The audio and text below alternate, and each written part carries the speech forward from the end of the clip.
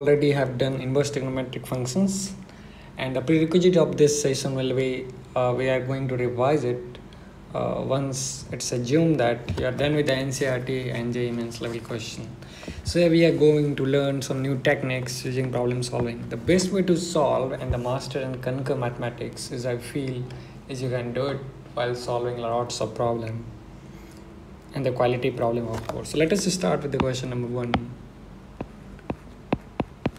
And the question goes like you have to calculate the value of summation n equals 0 to 10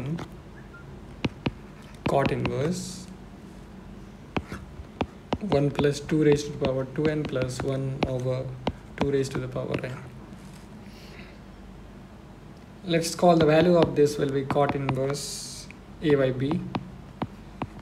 So we need to calculate log base 2 a plus b over b minus a. So this is our question. You pause the video and try to think over this. We'll shortly give the solution to it. Okay, so let us ask the idea like what's the idea of approaching this problem? What is the thought process? The moment we see the problem, the idea is in this kind of summation series you try to convert into tan inverse of something. Now we'll try to break this into two parts. So that will be tan inverse of something 1 minus tan inverse of something 2 which motivates us to bring tan inverse s1 minus s2 by 1 plus s1 s2 so the idea in this kind of problem is like whenever we are being given cot inverse or sine inverse or cos inverse you bring it to tan inverse fashion. And tan inverse has a very special structure. We know that tan inverse a minus tan inverse b is going to be tan inverse a minus b or 1 plus ab obviously there is a restriction on this Uh, we can write it if an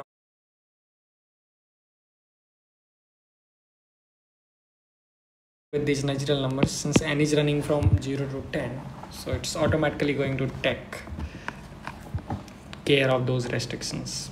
So our target is to be bring s1 minus s2 and 1 plus something. So what we can see here is we have 1 plus something. So if i convert that expression into tan inverse you know cot inverse theta is inverse 1 by theta so it will be 2 to the power n by 1 plus 2 raised to the power 2n plus 1 now what next?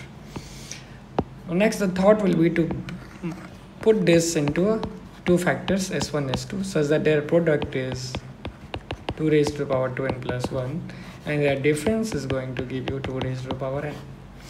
Clearly to get a difference of 2 ka power n we must have 2 ka power n present in both of these expressions. So let's try uh, a little bit guesswork. So 2 to the power n we can separate and we'll have 2 to the power n. Their product will give 2n so plus 1 we can put at one place right? Uh, I have not kept 2 to the power n plus half and 2 raised to power n plus half because their uh, so product although it's gonna give me but their difference will give you 0 so that idea we have rejected.